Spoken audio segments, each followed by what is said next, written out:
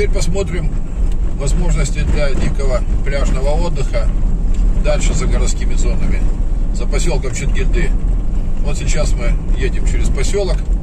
Задача выйти на берег, повернуть налево и дальше в восточном направлении проехать вдоль берега.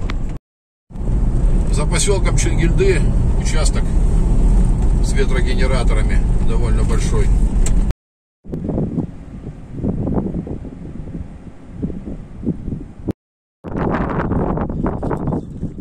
По этой дороге мы приехали от поселка Чингильды. И вот здесь, через Саксауловые рощи, идет асфальт к Копчегаю. Вот его уже видно впереди. Это полудикий пляж, примерно в 25 километрах от поселка Чингильды. Почему полудикий? А потому, что из всех благ цивилизации здесь присутствует только вывоз мусора, уже собранного отдыхающими, и оплата за въезд. Полторы тысячи тенге с машины. Вот координаты этого места. Пляж идет в обе стороны от указанной точки. И очень неплохой пляж. К тому же заросли саксаула, раскинувшиеся вдоль берега, приятно оживляют пустынный пейзаж и создают определенный уют, отделяя группы отдыхающих друг от друга. Это был северный берег Копчакая. А что есть на южном берегу? Сейчас поедем туда и посмотрим. Но для начала вернемся на трассу. С самой дальней точки маршрута мы возвращаемся к Копчагай, городу Копчагай по трассе Алма-Ата-Талдыкурган.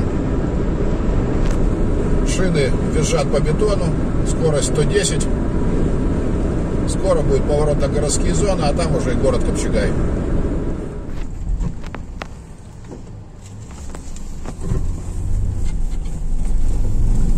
И ради интереса одно место на южном берегу Чигая.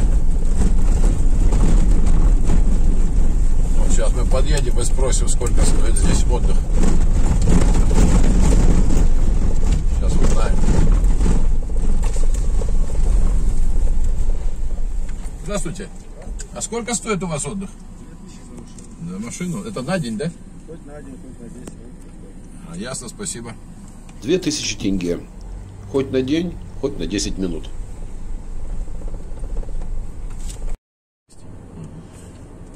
Мы попробовали поехать по другой дороге к берегу, и вот наткнулись на вот такой рекламный проспект. Въезд запрещен, и, судя по всему, там пансионат «Злые собаки» называется. Так что здесь мы не поедем.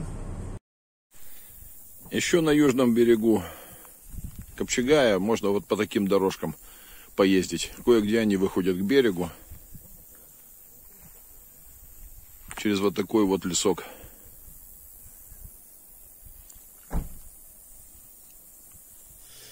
Вы посмотрели небольшой обзор Копчегайского побережья перед купальным сезоном 2021 года.